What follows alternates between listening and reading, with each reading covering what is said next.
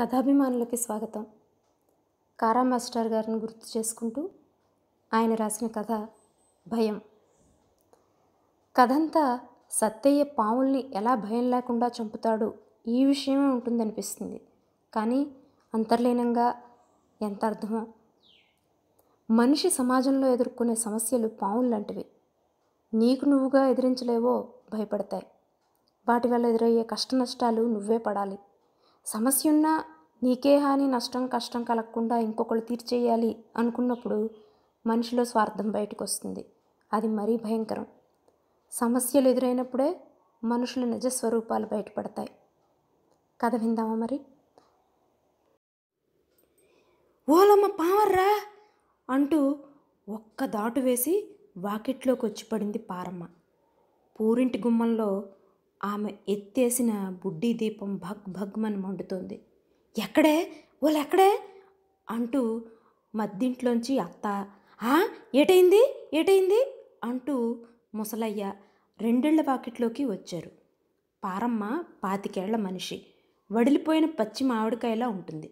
వజవజా వజవజా వణుకుతూ పూరింటి చీడీలో పొయ్యి మూల కట్టెల్లోకి చూపించింది ఆమె చూపించిందే కానీ వెంటనే చెయ్యి వెనక్కి తీసేసుకుంది. ముసలాళ్ళకు కూడా కాళ్ళల్లోంచి దడొచ్చింది. వాళ్ళకు పగలే చూపు సరిగ్గా అనదు. అది సంజవేళ. దానికి తోడు పొరుగు పెరటి చింత చెట్టు జీభూతంలా పెరిగింది. ఆ అరచీకట్లో పూరింటి ముంజూరు ముంజూరు కింద పెల్లలు విరిగిపడ్డ పిట్టగోడ పిట్టగోడ పక్కనున్నది కర్రల పొయ్యి దాని వెనక కరుదూపం పెచ్చులు కట్టిన పాత గోడ. అవతల మూలని పొయ్యి కోసం తురిమిన కమ్మరేకులు తాటి గుడితెలు. ఇది అక్కడ వాతావరణం. ఎక్కడే? అంది ముసలమ్మ. అది కాదా? కమ్మరేకుల్లోకి తల బయటికి తోక గోడవరణం ఉంది కోపగించుకున్నట్టు చెప్పింది కోడలు. కనిపించని ప్రమాదమేదో కాళ్ళని అల్లుకుంటున్నట్టే భయపెడుతోంది. ముసలాళ్ళిద్దరూ అడుగు కదపలేదు. నిల్చున్న చోటు నుంచి వాళ్ళకి ఏమీ కనిపించదు. అంతలో సత్తిగాడు ఆ వెంట గౌరేసు పరిగెత్తుకొచ్చారు. ఎక్కడా? ఎక్కడా? అనే తండ్రికి అదిగో అదిగోరయ్యా ఆ మూలకి అంటూ ముందుకు వెళ్ళి వంగి చూపిస్తున్నాడు సత్తిగాడు. భగ్ భగ్మనే బుడ్డి దీపం మొత్తం కిరసనాయలంతా అంటగా బగబగా బగబగామంటూ కాలుతోంది.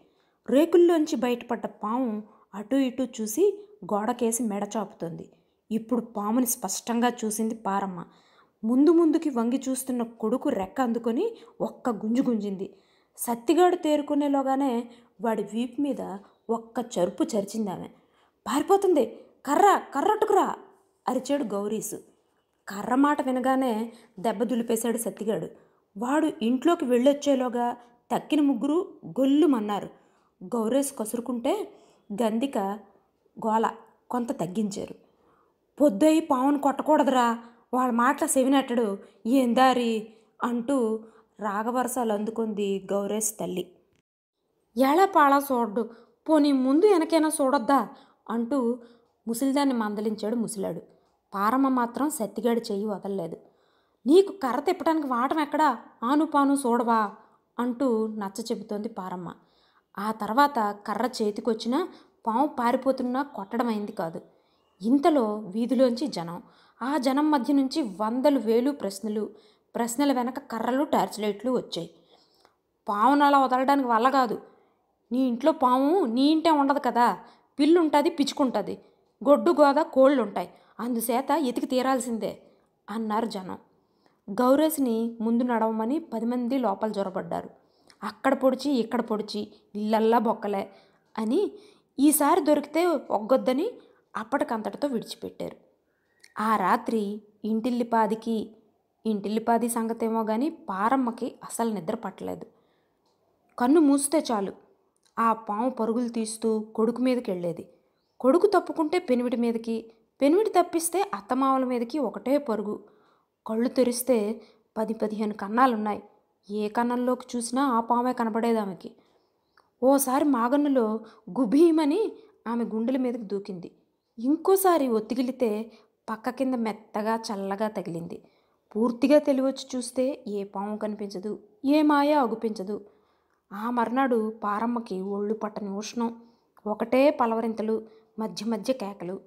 మంతించిన విభూది పెట్టాక అత్త మొక్కవలసిన మొక్కులు మొక్కాక కొంత కుదుట పడింది. నాలుగు లంకణాలు చేసి మనిషి తిరుగాడుతోందంటే మళ్ళా పాము కనిపించింది. ఈసారి పిడకల కుచ్చులు కిందకి దూరుతుంటే అత్త స్వయంగా చూసింది. దాన్ని చంపకపోతే ఎప్పుడో అదే మన చంపేస్తుంది అన్నాడు గౌరేశు. అన్నా నిజమేనరయ్యా వాళ్ళ మాలని అడ్డైతే ఓసరలకి ఏం చేస్తావు? అంటూ సాగదీసింది తల్లి. భార్య గర్భిణి ఆ అడ్డు గౌరేశ్ కూడా దాటలేడు. అయినా ఉన్న ఒక్క కొడుకు దుందుడుకు వాడు ఇక తల్లికి తండ్రికి చూపు సరిలేదు. మంత్రించినవి బూడిద జల్లిస్తానని తండ్రి ఎంత చెప్పినా గౌరేశ్ వినిపించుకోలేదు. చేపాటి కర్ర తీసుకుని పిడకల కుచ్చులంతా విరగదీయించాడు. పాము దొరకలేదు కానీ ఓ పాము పొర ముక్క రెండు పొదిగి విడిచిన గుడ్లు దొరికాయి. దాంతో ఆ ఇంట చేరింది ఒక్క పాము కాదని అవైనా మామూలు పావులు కావని తేలిపోయింది. ఓ రోజు రాత్రి ఓలమ్మ చచ్చిపోయాడర్రో అంటూ పారమ్మ పెట్టిన గావు కేకతో ఊరు వాడ రెండేళ్ళ వాకిట్లో చేరారు. నీలగోళం దగ్గర కాళ్ళు కడుగుతున్నాడు గౌరేశ్ నడిచే కాళ్ళకు కర్ర అడ్డుపడ్డట్టు అంతెత్తు ఎగిరి దబీమని పడిపోయాడు. లేచి లేవని మనిషిని పాదానికి బెత్తెడుగా కాటు అందుకుంది. కాలు విదిలిస్తే కసిగా ఇంకొక కాటు వేసింది. పారమ్మ పరిగెత్తుకొచ్చే వేళకి పాము పారిపోతుంది. ఓలమ్మో ఓలమ్మో అంటూ పారమ్మ గుండెలు బాదుకుంటూ ఉంటే రామ మందిరంలో జనం కూడా పరిగెత్తుకొచ్చారు. నాగుల చవితికి గుడ్లు మొక్కినానర్రా పిల్ల నెల తప్పింది. ఏ బిడ్డ పుట్టినా నీ పేరే ఎడతానన్నాను. ఎన్ని మొక్కినా నాగమయ్య నా గొడుగు నిలిపినాడు కాడు తల్లో. సుబ్బరాయుడు నా పచ్చని చెట్టు కూలదోసినాడమ్మా అంటూ గౌరేష్ తల్లి ఏడుస్తోంది. అయితే ఆనాడు పాము తప్పించుకుంది. ఏ కలుగులో దూరిందో పారమ్మ చూసింది. చెప్పింది కూడా మరి ఆ పాముని చంపితే మా మంత్రం పారదంట. ఎక్కడో సారాకోట్లో ఉన్న పాములు రాములయ్యకి తెలివి తెప్పించి తీసుకొచ్చేసరికి గౌరేష్కి ముచ్చెమట్లు పోసేసి నొరగలు కక్కడం సరే కఫం గుండెలకు ఎగదట్టి గురక కూడా పుడుతోంది. నాను చెప్పలేను. విన్నారా? నానేమీ ఈలేను అయితే నా డ్యూటీ మాత్రం నాన్ తప్పను. ఏటి? మంత్రగాడు అన్నాక జీవుడికి కొసెంట్రికి జీవుడున్న ఆసొగ్గుకోడు అయితే ఎంత మంత్రమైనా దానికి ఓ టైం ఉంటుంది. ఆ టైంకి పెడితేనే అది టక్కన పనిచేస్తుంది. టైం దాటిపోనాక ఆ భగవంతుడు వేసినా మరి నాపం లేదు అందుకే భగవంతుడు ఉండాలన్నారు ఆడు చక్రం అడ్డేస్తే మంత్రం వేసినా వేయకపోయినా డోకా లేదు ఆడు తప్ప తెలిసినాడో ఎన్ని మంత్రాలు వేసినా ఆపవు. జై శంకర ఆదినారాయణమూర్తి అంటూ వేపమండలు అందుకున్నాడు పాముల రాములయ్య. తెల్లవారులు మంత్రాలు వెయ్యిగా వెయ్యిగా తెల్ల తెల్లవారుతూ ఉంటే గురక తగ్గింది. ఇక పర్వాలేదు అంటూ రాములయ్య మంత్రం ఆపాడు. అయితే గౌరేష్ బతికాడనే చల్లని కబురు ఊరికవతల చివర చేరనే లేదు.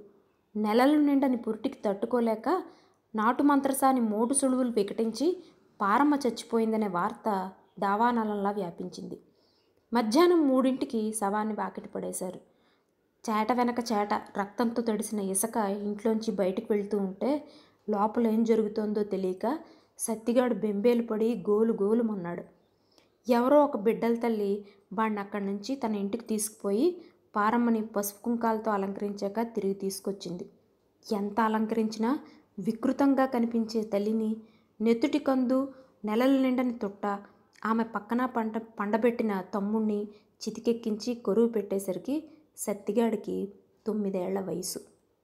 ఆ సత్తిగాడు ఇప్పుడు సత్యమై సత్యమై సత్తయ్య అయ్యాడు. సత్తయ్యకి ఈ మధ్యనే బళ్ళో వేసిన కొడుకు కాక అతని భార్య నేడో రేపో కనబోతోంది. ఏటికి యాభై బార్ల దూరం ఆ గ్రామం. ఎత్తున ఉండే ఊరికి ఏటి నీళ్ళు ఏ కాలంలోనూ ఉపయోగపడవు. వర్షాలు కురిసే రోజుల్లో వరదలు నీళ్ళు ఉంటాయి. వర్షాలు ఆగిపోగా నీళ్ళు ఉండవు కానీ వరదల్లో కొట్టుకొచ్చిన పాములు మిగులుతాయి. వానాకాలంలో దాదాపు ప్రతిరోజు ఎక్కడో ఓ చోట ఒక్క పామైనా కనిపిస్తుంది. ఎండలు ముదరగానే నెరియలు వారిన బేళ్ళ భగభగలకు తట్టుకోలేక పొద్దుపోయేసరికి పెద్ద మనుషుల్లా తేమగాలి కోసం షికార్లు మొదలెడతాయి. పాములు పాము సంతానాలును. ఎప్పుడు ఏ చోట ఎవరికి పాము కనిపించినా ఊరందరూ చెప్పుకుంటారు. రచ్చరాతి మంటపం చుట్టూ రామ మందిరం అరుగుల మీద ఇళ్ళలోనూ వాకిళ్ళలోనూ జనం గుంపులు గుంపులుగా జట్లు జట్లుగా వినిపించినవి విన్నవి విని వినిపించనని ఎన్నో కథలు. వాటికి లెక్కలేదు. నా కంట నరుడు పడకూడదు నరుడి కంట నాను పడకూడదు. అంటూ పుట్ట వదిలి బయటికి వస్తుందిట నాగుపాము. నాగుపాము కళ్ళల్లో కెమెరా అరవంటి ఏర్పాటు ఉంటుందిట ఒకసారి దానికి హాని చేసిన మనిషి ఏడేడు సముద్రాల అవతల ఎక్కడ దాగున్నా దాని పగ నుండి తప్పించుకోలేడు. మల్లెనాగు సంపెంగనాగు ఆ వాసన ఎక్కడుంటే అక్కడ చేరతాయి. అందుకే దేవాలయాల్లో తప్ప సంపెంగలు పెంచరు. ఆరు బయట పడుకునేటప్పుడు తెలిసిన ఆడదైతే మల్లె చెండు తలలో ఉంచుకోదు. రక్తపొడ కరిస్తే అడ్డెడు రక్తం కక్కి అక్కడికక్కడే చేస్తారు. నాగుపాము విషానికైనా విరుగుడుంది కానీ నల్లత్రాచు కరిస్తే మరింక దానికి విరుగుడు లేదు. అసలు మంత్రగాడికి కబురందేదాకా ఆగదు. కొట్టడం ఏమిటి చావడం ఏమిటి? రెండూ ఒక్కసారే. పొడపాముని ఇంకోటి ఉంది అది సరిగ్గా జానతో జానుడుంటుంది. దాని ఉనికి ఎక్కడో తెలుసా? తాటి చెట్టు మొవ్వు. కరవడం ఎక్కడో తెలుసా? తాళు మీద. ఈ కథలు దేనికి చెప్తారు? ఎందుకు వింటారు? అంటే లక్ష సమాధానాలు. హడలు పుట్టించే కథలతో పాటు ఆశ్చర్యం కలిగించేవి నమ్మసక్యం కానివి చెప్తారు. కొన్ని కొన్ని పాములట కొందరి వంశాలను తరతరాలుగా అంటిపెట్టుకుని కాపాడతాయట. అలాంటి పాములు పిలిస్తే వచ్చి పళ్ళల్లో పాలు తాగిపోతాయి. ఇంట్లో ఈ మూల ఆ మూల నిద్రపోతాయి. చంటి పాపలో ఆట పాపలో ఉన్నారంటే ఆడించడం ఆడడం కూడా కద్దు. అలాంటి జాతైన పాములకి కోపం వస్తే కరవ్వు పడగ నేలకేసి కొట్టుకుని ప్రాణాలు తీసుకుంటాయి. తెలుసో తెలియకో వాటిని చంపేవో ఆ వంశం అక్కడితో సరి. మరి పుట్టగతులుండవు. పావుల గురించి నమ్మకాలు కూడా తక్కువ కావు. నాగుపావును చంపినవాడు ఆవు నెయ్యి మంచి గంధం చెక్కలతో దహనం చేయాలి. లేదంటే నాగప్రతిష్ఠ. పాము కళ్ళలో కనిపిస్తే మంచిది. కల్లో పాము కరిస్తే మంచిది. నిద్రపోయే మనిషికి పాము గొడుగు పడితే చక్రవర్తి అవుతాడు కోటికి పడగెత్తడం ఖాయం. మహాపుణ్యం ఎవరిది అంటే పలవాడే పాముల్ని కళ్ళారా చూసిన వాళ్ళది. ఏ నేల మీద ఆ కార్యం జరిగితే ఆ నేల బంగారం పండుతుంది. అలాంటప్పుడు పై మీద కండువా పరచాలి. అదృష్టవంతుడివైతే పాములు దాన్ని తొక్కుతాయి. అలా తొక్కిన గుడ్డ వేసుకుని ఎక్కడికి పోయినా నీకు జయం తప్పదు. మనుషుల్లో చాలా రకాలు ఉంటారు కొందరు ఎవరైనా ఏదైనా చెప్తే నమ్ముతారు. అందులో కొందరు ఎవరేది చెప్పినా నవ్వుతారు. ఇంకొందరు ఎవరేవి చెప్పినా నమ్మరు. తమ కళ్ళని చూసింది అనుభవించింది తప్ప వాళ్ళకి ఇంకేదీ పట్టదు. సత్తయ్య పాముల గురించి చాలా విన్నాడు. శుద్ధ అసంగతాల్ని కట్టుకథల్ని నోరు మూసుకు విన్నాడు. అతడి నమ్మకాలు అనుభవాలు అంతలో మారే రకం కావు. పావుల్ని గురించి పాము మంత్రాలని గురించి భ్రమలు సత్తయ్యను అంటకపోవడానికి తగిన కారణాలున్నాయి. దేవుడు తల్లినెత్తుకుపోయినా దేవుడు పేరు పెట్టుకున్నందుకు పాముల రాములయ్య తండ్రిని దక్కించాడు. అందుకు అతన్ని దేవుడి కన్నా ఎక్కువగానే చూసుకున్నారు జనము జనంతో పాటు సత్తయ్య కూడా. అయితే గౌరేసిని కరిచింది నాగుపాము కాదట ఉల్లిపామట. మంత్రం వేసి వెళ్ళాక పాముల రాములయ్య ఏదో మందు తెచ్చి కట్టాడు. మూడు రోజులు కట్టు విప్పలేదు. మూడో నాడు బులబుల్లాడితే కట్టు విప్పారు. ఎంత మేర మందు వేశాడో అంత మేర అరంగుళం మందాన మాంసం ముద్ద ఊడిపడింది. ఏమిరా ఇది అంటే అప్పుడు చెప్పాడు. ఉల్లిపాము కరిసింది కూరలు విరిగాయని. యాభై రూపాయలకు ఒప్పందం చేసుకుని ఆరు నెలలు వైద్యం నడిపాడు. ఆ తర్వాత అతన్ని కాదని మరొహళ్ళు వారు కాదని ఇంకోహళ్ళు ఇలా చుట్టుపట్ల విష వైద్యులు ఎందరున్నారో అందరూ మారారు. రోజులు నెలలు ఋతువులు ఏళ్ళు గడిచినా ఆశలు అడిగంటే కానీ గాయం కడంటలేదు. ఒక వైద్యుడు ఆకుపట్లు పట్టిస్తే ఇంకొకడు మందులు మింగించాడు. ఒక ఆయన పసరు వైద్యం చేసి చూస్తే మరింకో ఆయన ఎక్కడెక్కడి నుంచో నానా రకాల వేళ్ళు తెప్పించి వాటన్నింటినీ గంటల తరబడి నూరించి అలా నూరిన ముద్ద ఆ గోతిలో వేసి కట్టు కట్టమనేవాడు ఆ గాయం ఒకప్పుడు మానబారినట్టే కనిపించి మరి మరి నాలుగు రోజుల్లో అరిచేయి మేరన అంగుళం లోతున ఎర్రటి కండతో చీముసలలు కట్టి చూడ్డానికే భయంకరంగా ఉండేది. భరించరాని దుర్గంధం.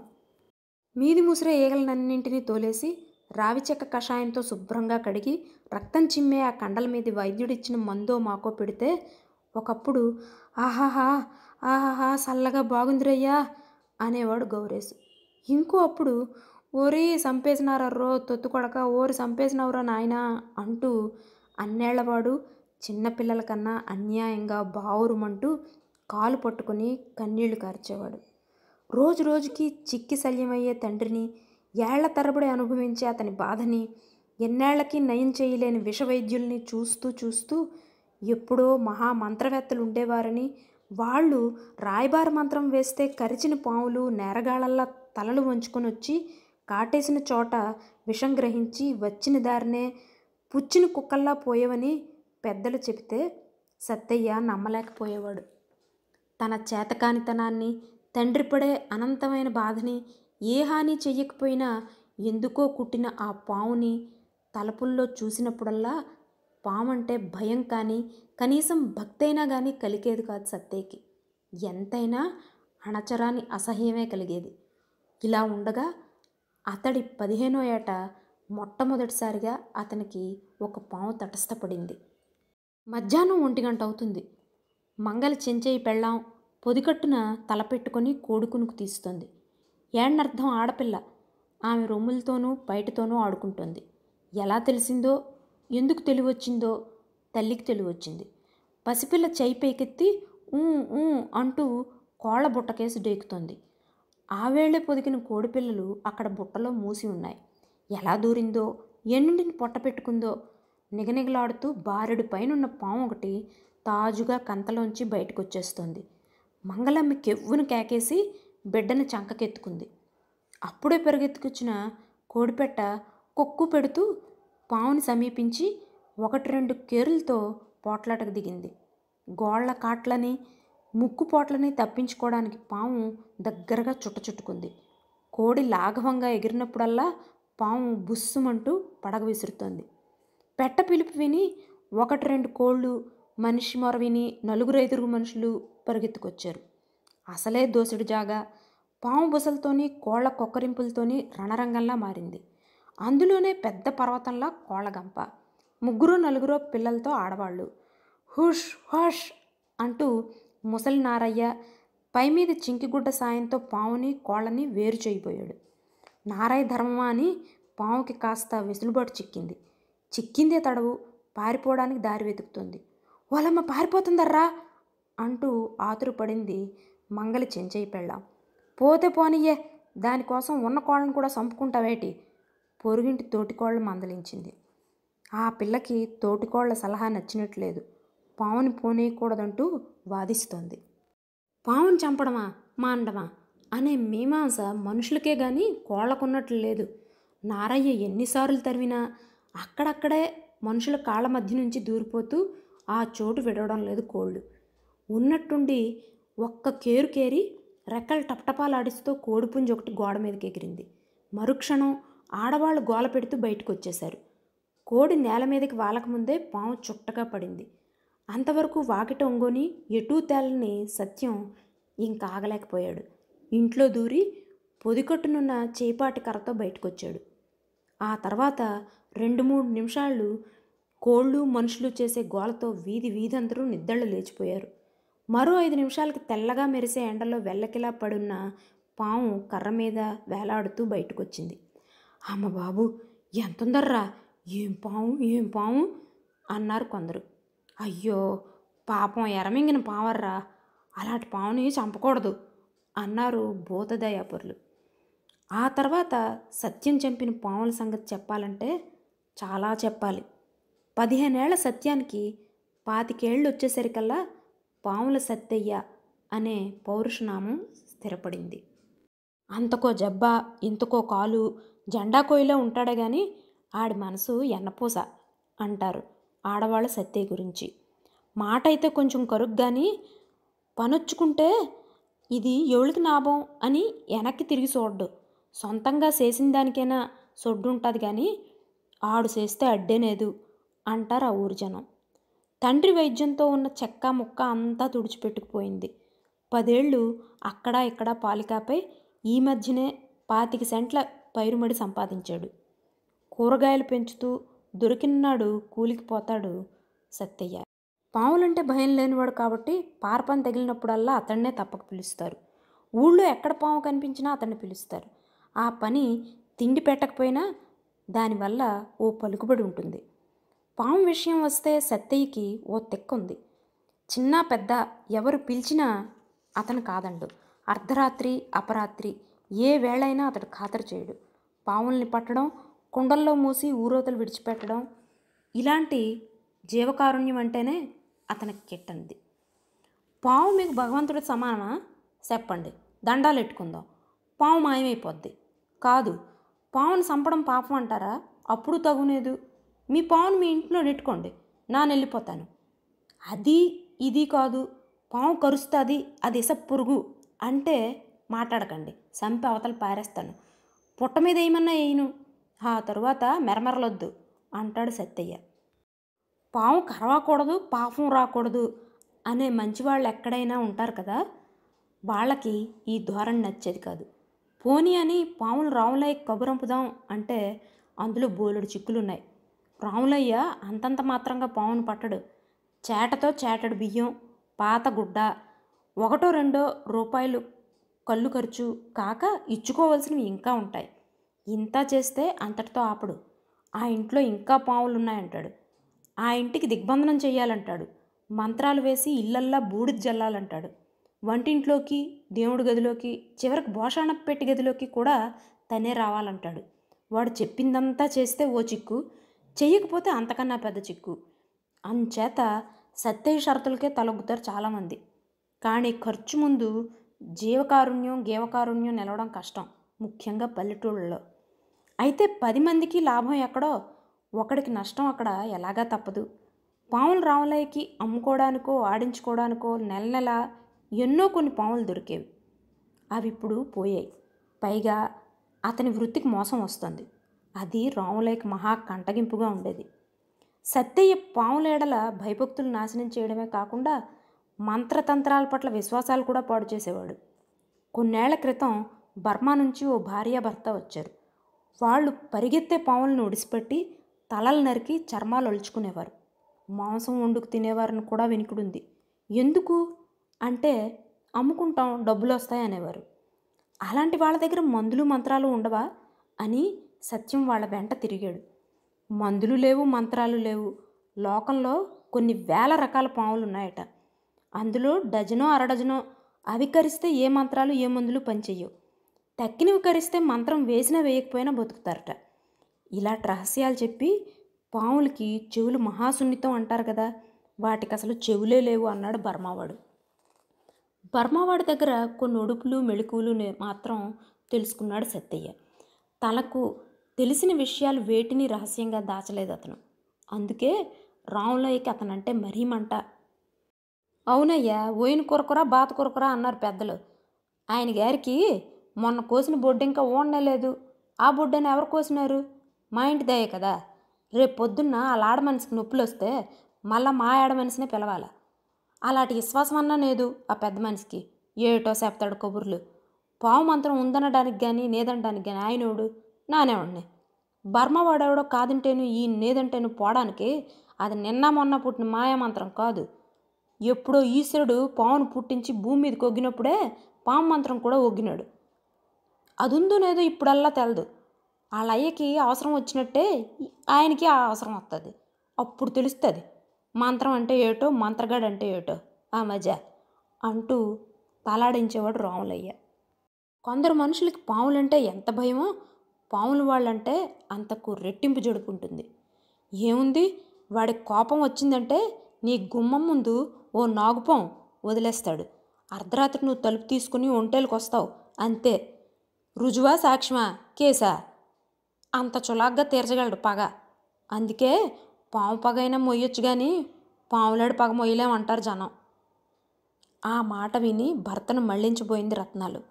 రత్నాలంటే సత్యయ్యకి చాలా అభిమానం. అయినా కొన్ని విషయాల్లో ఆమె మాట ఒక్క అక్షరం కూడా పట్టించుకోడు. ఓ రోజు పోనీ ఈ ఇంట్లో దూరిన పావును నువ్వు చంపు. నాను కాదన్ను. ఎవళ్ళటక మీద ఉన్న పావు నువ్వేలు చంపాలా? అంది రత్నాలు. దానికి జవాబు ఇవ్వకపోయేసరికి ఊరుకోలేదు. చెప్పు చెప్పు అంటూ చెప్పిందాకా ఒప్పనంది. రత్నాలు భయానికి ఓ అర్థం ఉంది. అతను చేసే పని వల్ల ఒరిగేది ఏమీ ఉండదు. పోతే పోయేవి అణాబేడ అద్దెడు బియ్యమో పాత గుడ్డో కాదు. నూరేళ్ళు బతకవలసిన నిండు ప్రాణాలు. అయితే ఎలా చెప్తే ఏం చెప్తే ఆ భయం తొలగిపోతుందో సత్యయ్యకు తెలియదు తన భయం ఎలా తొలగిందో ఏ చైతన్యం అందుకు కారణమో గ్రహించగలిగే ఊహ సత్తయ్యకి లేదు. ఉన్నా పనిలో నేర్పే గాని మాట నేర్పు నేర్చుకోలేదు. దానాదీనా ఏం మాట్లాడడానికి అతనికి తోచలేదు. చెప్పు చెప్పు అని మరీ వేధిస్తే చివరికి ఇలా అన్నాడు. ఒకలాగా అనుకుందాం. ఇప్పుడు నానే ఉన్నాను. మా నాయన ఉన్నాడు. ముసలిది ముసిలోడు నీ కొడుకు మామందరం ఒక్కాడ తొంగున్నాం. పాము వచ్చింది. పాము సూర్యులోంచి దిగింది. దువ్వారు ఒడ్డున దిగింది. నువ్వు గడపట్లున్నావు తెలిగేసి ఉన్నావు పావును నువ్వు చూసినావు. కర్ర కూడా నీ చేతిక అందువిడుగుంది. పావు నీ కాసి చూడలేదు మా మీదకి పారొస్తుంది. నువ్వేటి చేస్తావు? నీ మీదకి రావడం లేదు కదా. మా మీదకి కదా పారొస్తుంది. సస్తే మావు కదా సస్తాం. అలాగని నువ్వు ఊరుకుంటావా? నీ పేణమైనా వదిలి మమ్మల్ని కాపాడతావా? అన్నాడు సత్తయ్య రత్నాలు సులువుగానే జవాబిచ్చింది. నువ్వు మీరంతా నాకైనట్టు ఈ లోకం అంతా నీకు అవుద్దా. అవుద్ది అంత తడుముకోకుండా జవాబు వచ్చేసరికి రత్నానికి ఎదురు జవాబు లేకపోయింది. అయితే సరే అంటూ తల తిప్పేసింది. ఆమెకు కళ్ళంబడి నీళ్ళు ఎందుకు వచ్చాయో వాటిని ఆపడం ఎలాగో అతనికి కానీ ఆమెకు కానీ తెలియలేదు. కొంతసేపు మాట్లాడకుండా కూర్చుని సత్తయ్య అన్నాడు. అవుద్దా అవదా? అంటే మనం అనుకోవడంలో ఉంటుంది. కొందరికి తల్లే తల్లి కాదు. కట్టుకున్న పెళ్ళం కనుక్కున్న పిల్లలు చుట్టాలు పక్కాలు ఎవ్వరూ ఏమీ కారు. సచ్చినా బతికినా ఆడికాడొక్కడే. ఒక్కడే ఎవరెన్నిందాలు పోయినా ఆడు మాత్రం చల్లగుండాల నీలాడు దాయిందంటే దానికి దాని మొగుడు పిల్లలు దాని అత్తమామలు ఇరుగు పొరుగు చల్లగుంటే దాని బతికేలాగపోయినా దానికి లక్ష్యం లేదు. తన పొస్తులున్నా వాళ్ళ కడుపులు నిండాలంటది తను సెమటోడ్చి తెచ్చిన నూకలు గంజి కాసి వాళ్ళకి పోస్తుంది. తనకి కట్టి కిందికి మారుకోక లేకపోయినా వాళ్ళకి కప్పుకుందికి దుప్పటి కావాలంటది. కుటుంబం అక్కడతో సరే అనుకుంటే సరి. కుటుంబం మరి కాసింత పెద్దదైందనుకుంటే ఊరందరూ దాని మనుషులే అవుతారు. అప్పుడు ఊళ్ళో ఎవరికొచ్చిన కష్టమేనా? దాని కష్టమే అవుద్ది. ఈ వాదనంతా అవుతున్నప్పుడు అక్కడ ఇంకో మనిషి కూడా ఉంది. ఆమె సత్యకి కానీ అతని భార్యకి కానీ ఏ విధంగా బంధువు కాదు. అసలు ఆమెది వాళ్ళది ఒక కులమైనా కాదు. అయినా అప్ప సెల్లెల మరిది అంటూ వరసలున్నాయి. ఆ వదిన మరిదిని అడిగింది. సరే ఇదొక్క మాటకు జవాబు చెప్పు. నీకు నీ కుటుంబం అంటే ఎంత అభిమానమో ఈ లోకం అంతటి మీద అంత అభిమానం ఉండొచ్చు. అది మంచి మాటే. దాన్ని నన్ను కాదన్ను. కానీ నువ్వేమేనైతే వీళ్ళ గతేటవుద్ది? ఆళ్ళేటేనైతే నా గతేమవుద్ది టక్కన అన్నాడు సత్తయ్య సక్కంగా ఇంకో కొత్త పళ్ళని తెచ్చుకొని కాలు మీద కాలు వేసుకొని రాజునా కనిపిస్తావు అంది వదినమ్మ. అయితే మీ సెల్లులో ఆ పనే చేస్తుంది? అన్నాడు సత్తయ్య నవ్వుతూ. ఆడదానికి మొగోడికి ఒకటేనా? ఏమి? పిల్లల మీద మారుమని వెళ్ళినోళ్ళు లేరేటి? ఉంటే ఉంటారు. అందరు వెళ్ళగలుగుతురా పోనీ అలాగే అనుకుందాము. సచ్చిన వాళ్ళంతా పావు కరిస్తేనే సస్తున్నారా?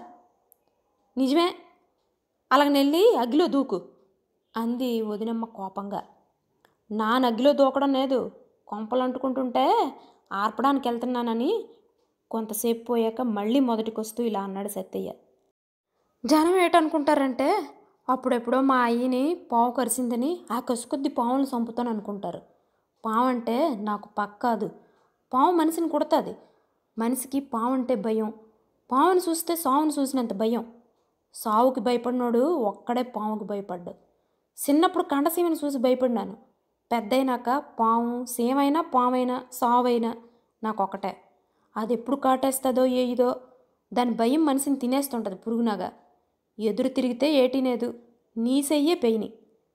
అప్పుడు సావు పాము కూడా సీమల్లా చిన్నవైపోతాయి నీ ముందు అంటూ సత్తయ్య అక్కడి నుంచి లేచిపోయాడు. ఊళ్ళో కోతల టైము మగ పురుగన్నది కనిపించదు. ఎండిన చేను బళ్ళకెత్తుతున్నారు. ఎంకునాయుడు గారి కళ్ళల్లో కుప్పలేస్తున్నారు. మొదట ఒక బండి పెరిగి రెండోది పెరుగుతున్నాడు సత్తయ్య. ఎంకునాయుడు గారి కోడిగిత్తలు కొత్తవి. ఊహు చిరమరలాడుతున్నాయి. కొత్తవవడం వల్ల సత్తయ్యని మరీ మొరాయిస్తున్నాయి. బండి ఎగవీధి గోర్చుకొచ్చింది ఎక్కడి నుంచో కానీ ఎదురుగా వచ్చేస్తోంది సుబ్బాయమ్మ గారు. యాభై ఏళ్ళ మహాకాయం. ఆ కాయానికి నడవడమే గొప్ప కష్టం. అలాంటిది ఆవిడ పరిగెడుతున్నట్టుంది కానీ నడకలా లేదు. బాబాబు ఊరే సత్తయ్య ఒక మాట బండి ఆపు ఒక మాట నీకోసం వెళ్ళానురా. మీ ఇంటి నుంచి వస్తున్నాను. నా తండ్రి కదూ ఒక్కసారి బండి ఆపు ఒక్కసారి అంటూ జాపోసిపోతూ ఆయాసపడిపోతుంది. ఊహోలతో అతి కష్టం మీద ఆపి తనకి అప్పుడు తీరదని చెప్పబోయాడు సత్తయ్య. వారం రోజుల క్రితం సుబ్బాయమ్మ గారు కొబ్బరికాయలు దింపమంది. ఆ చెట్టు ఇక్ష్వాకుల కాలం నాటిది. మామూలు చెట్లు రెండు ఎక్కితే కానీ ఆ చెట్టు ఎక్కినట్టు కాదు. అంతెత్తు మాను మరీ సన్నం. దాని మీద గెద్దలు పొట్లు పట్టాయి. ఆ చెట్టు సత్తయ్య తప్ప ఎవ్వడూ ఎక్కడు. ఎక్కడమంటే గంట గంటన్నర పని. సగం ఎక్కేసరికి గెద్దలతో యుద్ధం. అలా యుద్ధం ఆడుతూనే చివరికంటా ఎక్కాలి. యానగాలి వీచిందంటే మనిషిని ఇలాగ ఎత్తి పారేస్తుంది. అలాగే చెట్టెక్కాలి అలాగే కాయలు దించాలి అంత కష్టం ఉన్నా దానికి కూడా అన్ని చెట్లకి ఇచ్చినట్టే ఒక సొచ్చు కొబ్బరికాయ ఇస్తుంది సుబ్బాయమ్మ. కనికరించి మాగాయ కాదు ఒక పచ్చడి రవ్వైనా పెట్టదు. పెట్టదని కాదు తనకు తీరిక లేకే కాదన్నాడు సత్తయ్య ఇప్పుడు సెట్టెక్కమంటది కావాలా? ఏం దారి? అనుకుంటూనే బండి ఆపాడతను కాదంది సుబ్బాయమ్మ. తరువాత తీరికైనప్పుడే దించొచ్చినంది. అయితే మరేమిటో చెప్పమ్మా అంటే చెప్పదు. నువ్వురా నేను చెప్తానంటుంది ఎడ్లు ఆగమంటే దారిని పోయే జానాబెత్తుడు గుంటన్నొకడిని బండికి కాపు పెట్టింది. ఆ అమ్మ పట్టుకుంటే మరి వదలదు. సరే అని లోపలికి వెళ్ళాడు సత్తయ్య. వీధి వాకిలి దాటారు. పెంకుటిల్లు గడిచారు. రెండేళ్ళ వాకిలి చిన్నదే. ఆ వెనక ఉంది పూరిల్లు. అక్కడికి వెళ్ళిందాకా మాట్లాడలేదు సుబ్బాయమ్మ గారు పూరింటి అరుగులు ఎత్తు. కమ్మరేకులు చప్పుడైతే పన్నెండు కళ్ళు ఒక్కసారి చూశాయి చిన్న పెద్ద అరడజను మంది రెప్పలల్లారిస్తే చప్పుడవుతుందన్నట్టు గట్టిగా ఊపిరి తీస్తే ఎవరు దెబ్బలాడతారో అన్నట్టు ప్రాణాలున్నా లేని బొమ్మల్లా ఉన్నారు. అదిగో అన్నట్టు వేలుతో చూపించి ఓ పక్కకి ఓసరెళ్ళాడు పెద్ద మనిషి. ఆయన్ని ఎక్కడో చూసినట్టు సత్య జ్ఞాపకం. సుబ్బాయమ్మ గారి పెద్ద కొడుకే ఉండాల. అక్కడ పుట్టినవాడే ఆ ఊరివాడే. కానీ ఇప్పుడు పట్నంలో ఎక్కడో ఉంటున్నాడు. జనం అతని గురించి చెప్పుకోవడమే సత్య ఎరుగును. అతను ఎప్పుడూ తారసపడలేదు.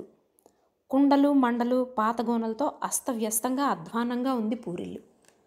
తలుపు ఒడ్డునే తౌడు బస్తా పాత తిరగళ్ళు ఉన్నాయి. తూర్పు గోడకి దక్షిణ గోడకి మందడిని ఒక పాత గోళం ఓరిగిలి ఉంది దాన్ని తొలగించిన గుర్తుగా దాని తాలూకు గుండ్రని ముద్ర ఆ మూలనుంది. ఆ మూల ఎలకలో పందికొక్కులో నేల గొప్పులు పెట్టాయి. ఆ గొప్పిలోంచి తెల్లగా నల్లగా పాము తోక స్పష్టంగా కనిపిస్తుంది. సత్తయ్య దగ్గరగా వెళ్ళి ఓసారి చూసి వచ్చాడు. చప్పుడు చేయకుండా గోలేని ఎత్తి పక్కన పెట్టాడు. సుబ్బాయమ్మ గారు మొదట చూసేసరికి మూరుడి పైన ఉండేదిట. అంతకంతకీ లోపలికి వెళ్ళి ఇప్పుడు జానన్నర పైన ఉంది. ఎంత ఆలోచించినా సత్యకి ఏ ఉపాయమో తోచినట్లేదు. లాభం లేదన్నట్టు తల అడ్డంగా తిప్పేశాడు. ఆశతో చూస్తున్న సుబ్బాయమ్మ గారికి నడుం సటుక్కుని మనిపోయింది ఇలా రా అన్నట్టు సైగ చేసి రెండేళ్ళ బాకెట్లోకి దారి తీసింది ఆవిడ. ఆలోచిస్తూ ఆమెతోటే వచ్చిన సత్తయ్య ముంజూరు దగ్గరే ఆగిపోయాడు. తోబుట్టు దగ్గరకో పెద్ద కొడుకు దగ్గరకో చేరినంత చనువుగా చేరిన సుబ్బాయమ్మ గారు గెడ్డం పట్టుకోవడం తర్వాయి అంత చేసినట్టు సత్తయ్యని బతిమలాడింది ఆవిడ. పెద్ద కొడుకు కోడలు నిన్ననే వచ్చారట. నత్త నావా అతనికి అరడజన్ సంతానం. పిల్లల్ని కూడా చూపించింది సుబ్బాయమ్మ గారు. రెండోవాడు ఆడపిల్ల నాలుగైదు రోజుల్లో వస్తారు. చంటి వెంటి వాళ్ళకి ఓ ఐదుగురు ఆరుగురు పిల్లలు ఉన్నారట ఇహ పిల్లలేమిటి? పొద్దస్తమానం ఆ పూరింట్లోనే ఉంటారు. వద్దర్రా పురుగు పుట్రా ఉంటుందని చెప్పినా వినిపించుకోరు. ఆ పావుని ఇంట్లో పెట్టుకుని ఆవిడ బతకలేదు. నాలుగు రోజుల కిందట పాము జాడ పసికెట్టినప్పుడే ఆవిడ భయపడింది. ఇవాళెందుకో గోలెం తీయబోతే అక్కడ ప్రత్యక్షం. అప్పటి నుంచి ఆవిడకి కరచరణాలు ఆడడం లేదు. పాము కాపు పెట్టి తను వీధిని పడింది. కబురు పెడదామన్నా మనుషులు కనిపించరు. వెధవకోతల రోజులు.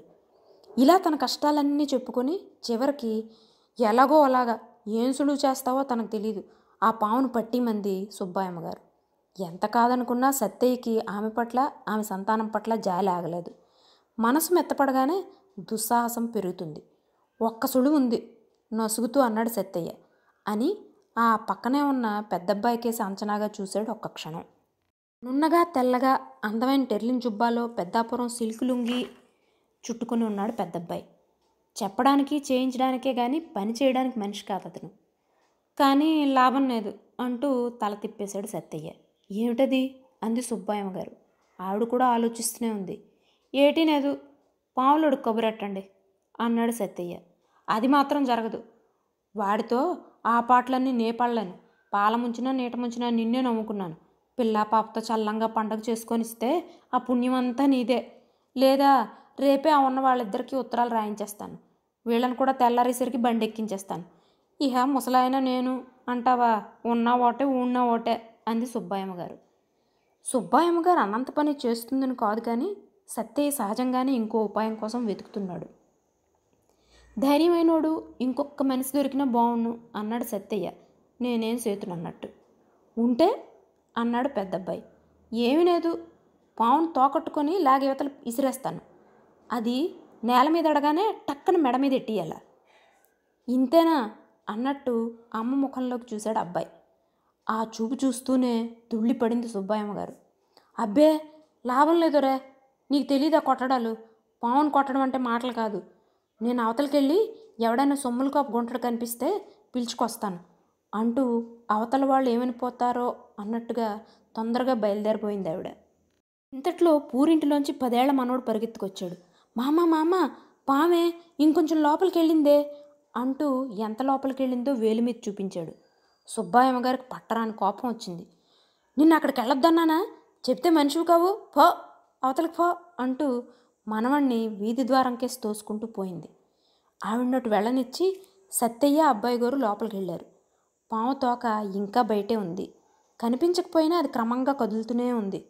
అది ఎర్ర మింగి కదలనేకపోతే దాన్ని చంపేయడం సులువే. ఎర్ర కోసం గుద్దులాడుతుంటే అలాంటప్పుడు డేంజరు అన్నాడు సత్తయ్య పరిస్థితిని ఊహిస్తూ. ఇంతలో సుబ్బాయమ్మ గారు ఓ సొమ్ముల కాపరిని వెంట పెట్టుకొని వచ్చింది. కుర్రాడికి నిండా పదమూడేళ్ళు ఉండవు కానీ చాకులా ఉన్నాడు. సత్తయ్యను చూస్తూనే నువ్వున్నావేటి? అయితే నాన్న సయ్యే అన్నాడు హుషారుగా. ఆ కుర్రాన్ని సొమ్ములు గురవడు అంటారు తనేం చేస్తాడో వాడేం చెయ్యాలో అంత వివరంగా చెప్పాడు సత్తయ్య. నీకెందుకు? నాను తొలిదెబ్బ కొడతాను నువ్వు మారుందుకో అన్నాడు కుర్రాడు. వెంటనే రెండు చేపాటి కర్రలతో తిరిగి వచ్చాడు పెద్దబ్బాయి. ఒకటి సత్తయ్యకిచ్చి రెండోది కుర్రాడికి ఇబోయాడు మరి నీకో? అన్నాడు సొమ్మల గురవడ కర్ర అందుకోకుండా. వాడికెందుకు? వాడికి అక్కర్లేదు. అంది సుబ్బాయమ్మ గారు విని వెంటనే. ఆవిడ గొంతు ఎవరికైనా కటువుగా వినబడుతుంది. సొమ్ముల కుర్రాళ్ళు అలాంటి గొంతుకులు వినడానికి అస్సలు ఒప్పుకోరు. మరి అత్తలు పడితేనో? అన్నాడు గురవడు. అత్తలు పడ్డా? ఇతలు పడ్డా? నువ్వే కొట్టాలా? అన్నాడు సత్తయ్య నాను కొట్టను. నాను ఎందుకు కొట్టాలా? కుర్రాడికి తిక్క రేగుతోందని గ్రహించాడు సత్తయ్య సుబ్బాయమ్మ గారిని మాట్లాడొద్దని చెప్పి తనకి చేతనైనంతలో వాడికి సర్ది చెప్పపోయాడు. అంతా విని ఒక్క మాటలో తీసి పారేశాడు సొమ్ములు గురవుడు. ఓయ్ ఊరుకోవయ్యా పావు దూరింది ఆళ్ళెరకలోనా సాయానికి నువ్వు నేనా? చెయ్యి సాయం తోడుండమంటే ఎలాగ సస్తారో మీ ఇద్దరు సావండి కానీ నా కొడుకు దాని గాలి కూడా తగలనని కొల్ల కాదంటది ఆ అమ్మ. ఈడే కన్నదేటి కొడుకుని?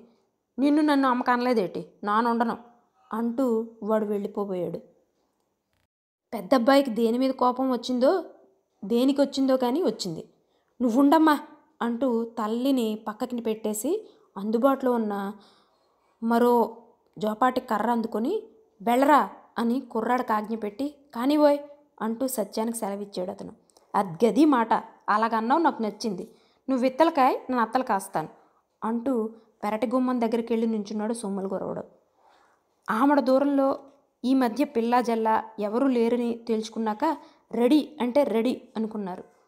పెంకుటింటి చూరు కింద నిలిచిన కోడలు కొంత ధైర్యంగానే ఉంది కానీ రెండేళ్ళ వాకిట్లో నుంచిన సుబ్బాయమ్మ గారు మట్టుకు ఊరికినే గాబరా పడిపోతుంది. ఒక్క చేతికి అలవి కాదనిపించగానే చేతిలో కర్ర గోడకు చేరేసి పాము తోకని రెండు చేతులా అందుకున్నాడు సత్తయ్య ఈలోగా పాము ఎత్తు మార్చేసింది. బుసబుసలాడుతూ చేతిలోకి వచ్చేస్తూ ఉంటే హడావుడిగా లాగి అవతలకి విసిరేశాడు సత్తయ్య ఆ సందట్లో చేతికర్ర కాస్త కుండల ఇరుకుని పడిపోయింది. పాము గోడ దెబ్బ తినకుండానే నేలను వాలింది. ప్లాన్ ఫెయిల్ అయ్యేసరికి గోల మొదలైంది. కొట్టు కొట్టు అంటాడు పెద్దబ్బాయి. నువ్వు కొట్టు నాకు అంత అంటాడు సొమ్ములు గురవడు. నువ్వొద్దు నువ్వొద్దు నా మాట విను అంటుంది సుబ్బాయమ్మ గారు కొడుకుని ఉద్దేశించి. నేల మీద పాము ఇటు జారి అటు జారి. ఎటు చూసినా మనిషి అయితే వచ్చిన దిక్కుకే జరజరా పోతుంది. కుండల ఇరుక్కున్న కర్ర ఎంతకీ రాకపోయేసరికి కర్ర కర్ర అని అరిచాడు సత్తయ్య పెద్దబ్బాయికి కర్ర విసిరేపాటి ధైర్యమైనా లేదు. అందుకో అంటూ కుర్రాడే చేతికర్ర విసిరేశాడు. సత్తయ్య చేయి చాచాడు కానీ కర్ర అందలేదు. పారే పాముకి అతనికి మధ్యన చప్పుడు చేస్తూ పడింది ఆ కర్ర. కర్ర చప్పుడు వినగానే కస్సును లేచింది పాము. ఓర్ నాయనో అంటూ సొమ్మల కుర్రాడు గుమ్మం దగ్గరికి ఎదురుపడ్డ అమ్మని తోసేసుకుంటూ పెద్దబ్బాయి రెండేళ్ళ వాకిట్లోకి పరుగులు తీశారు. ఏమైంది ఏమైంది? అంది పెద్ద కోళ్ళు. పాము ఆ మనిషిని పొడిచేసింది అన్నాడు పెద్దబ్బాయి. ఆ మాట వింటూనే వెనక్కి తిరిగాడు సొమ్ములు గురవడు మనిషి కర్ర కోసం వంగుబోయినప్పుడల్లా పడగెత్తిన పాము బుస్సుమంటూ బుస్సు కొడుతుంది. పులి పంది వైరంగా పాము మనిషి ఎదురుబెదురుగా నిల్చుండిపోయారు అంటిందేటి అంటిందేటి? అన్నాడు సొమ్ములు కుర్రాడు ఆత్రతగా. సత్తయ్యకి జవాబిచ్చే వ్యవధి లేదు. తల కొంచెం విసిరి పాము వంకే నిదానంగా చూస్తున్నాడు. ఇక్కడ వెతికి అక్కడ వెతికి అవతల ద్వారం దగ్గర పడిన కర్ర కనపడగానే ఒక్క గెంతు గెంతాడు గురవడు అలికిడికి అటుకేసి తిరిగిన పాము ఇటు కర్ర మీద చెయ్యి పడగానే టక్కన విసిరింది పడగ. దీనమ్మ అంటూ చప్పు నిల్చుండిపోయాడు సత్తయ్య. తొలిపోటు పొడిచిన వీరుల్లా పాము మండి మీద ఊగులాడుతోంది. పడగ పెద్ద చేస్తూ పొడుగు పెంచుకుంటోంది. ఎరుపెక్కిన కళ్ళతో పాము వంక ఎర్రగా చూస్తాడే తప్ప ఏం చెయ్యాలో తెలియకుండా ఉంది సత్తయ్యకి. కర్రతో తిరిగొచ్చిన గురవుడు నువ్వు తగ్గు నువ్వు తగ్గు అంటూ కర్రెత్తి వాటం కోసం చూస్తున్నాడు. ఒక్క క్షణం ఒక్కటే క్షణం. చెయ్యి చాప్న చాచడం పడగ ఫాట్న విసరడం ఒక్కసారే జరిగిపోయాయి. ఎంత వేగం విసిరిందో అంత వేగం వెనక్కి తీసుకుంది పాము. ఎత్తిన పడగకి బెత్తిడెడంగా పడింది కర్ర.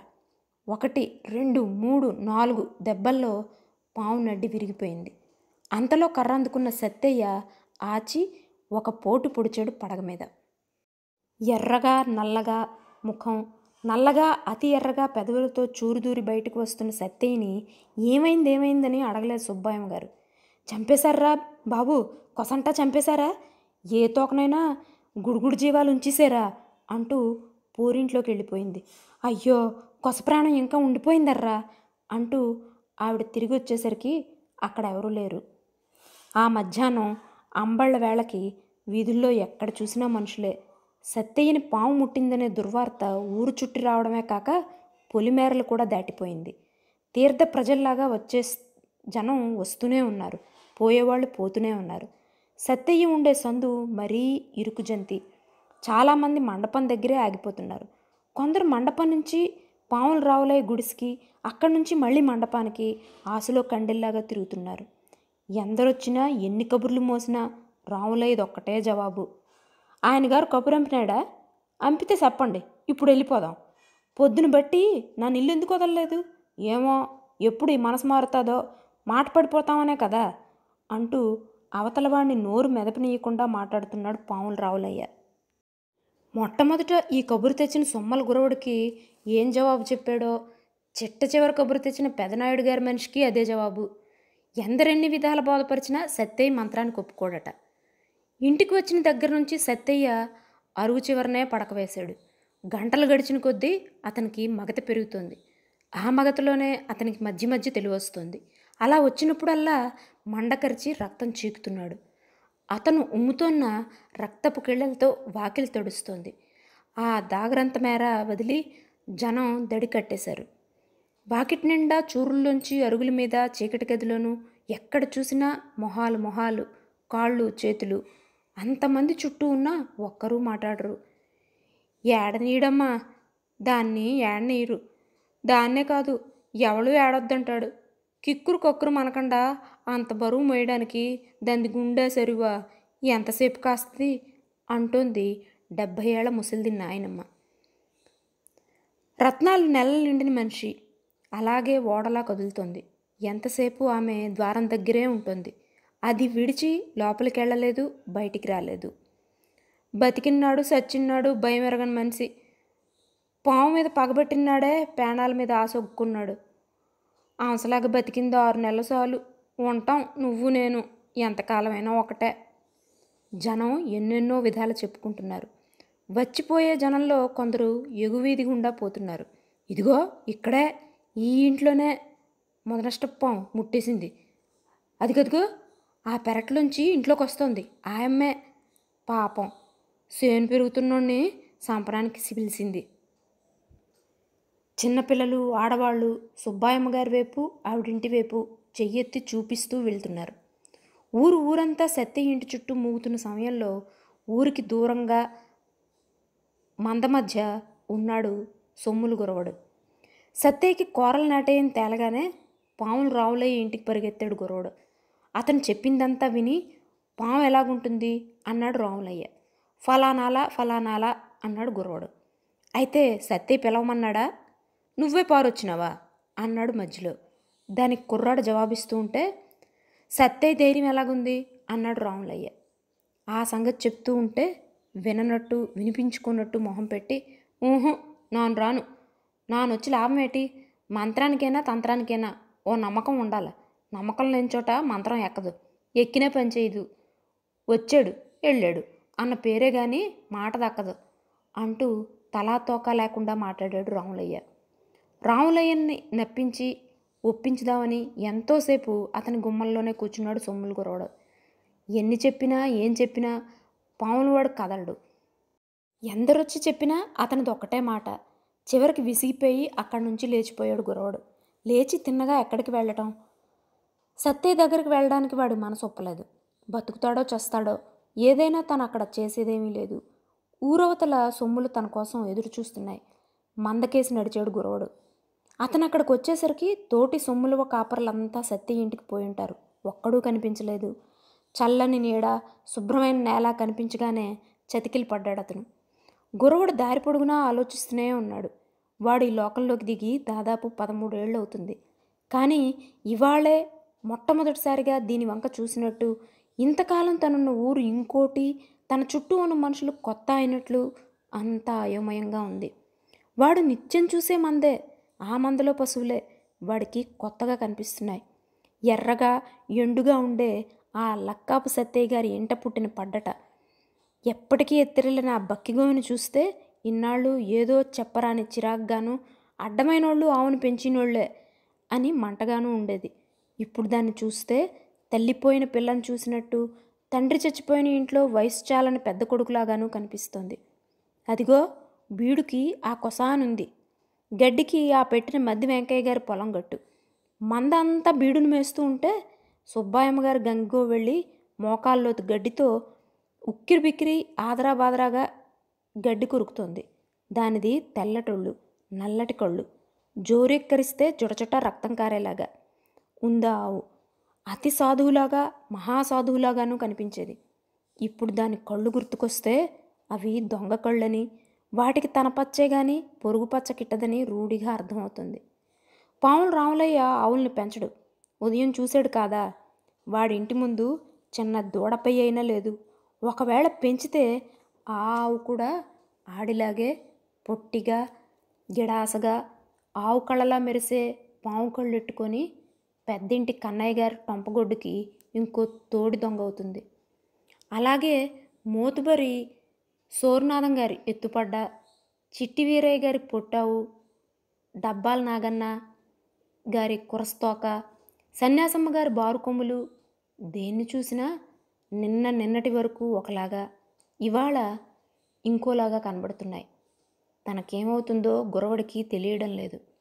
నోరు లేని మూగజీవాల గురించి ఇలా ఆలోచించడం పాపమే కావచ్చు.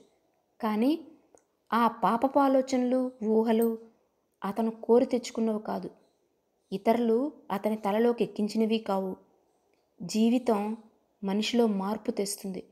అందుకు అనుభవం కారణమవుతుంది. ఇది భయం కథ. మాస్టారు సృష్టించిన గురువయ్య పదమూడేళ్ళకే జీవిత సత్యాలు మనుషుల స్వభావాలు అర్థం చేసుకోగలిగాడు. మరి తొంభై ఏడేళ్ళ జీవితాన్ని చూసిన మాస్టారు చివరి వరకు నిస్వార్థంగా నిర్భయంగా నమ్మిన విలువల కోసం జీవించిన కారా మాస్టర్ గారికి మనపూర్వక శ్రద్ధాంజలి. వచ్చేసారి మరో మంచి కథతో కలుద్దాం. సెలవు.